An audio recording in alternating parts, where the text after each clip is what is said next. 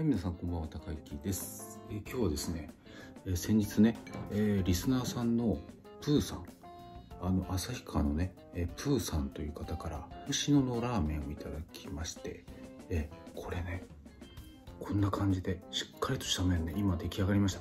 ちょっとね、何にも入ってないのがね、ちょっとうん残念なんですけど、まあ、これだけでもね、十分美味しいだろうということで、食べていきたいと思います。え旭川に行った時にね、しょう。もう旭川で珍しい味噌ラーメンなんですよね。うん。じゃあ食べてみましょう。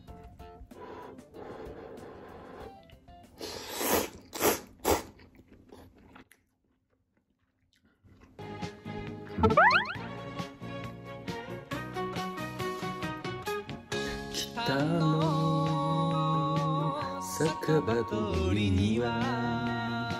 おお北酒場を歌ってしまったわついついいやいやびっくりしたわ。あ。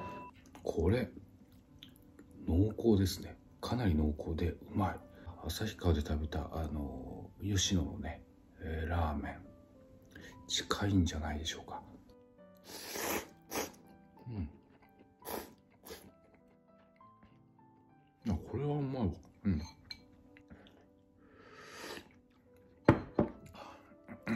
これご飯ご飯と一緒に食べたいうん。最高、うん、北の大地のラーメンはねこうなぜか濃厚で体が温まるね、うん、コクのあるラーメンが多い。というのがね特徴かと思います。え本当にね美味しいラーメン。ありがとうございました。ではまたお会いしましょう。じゃあね。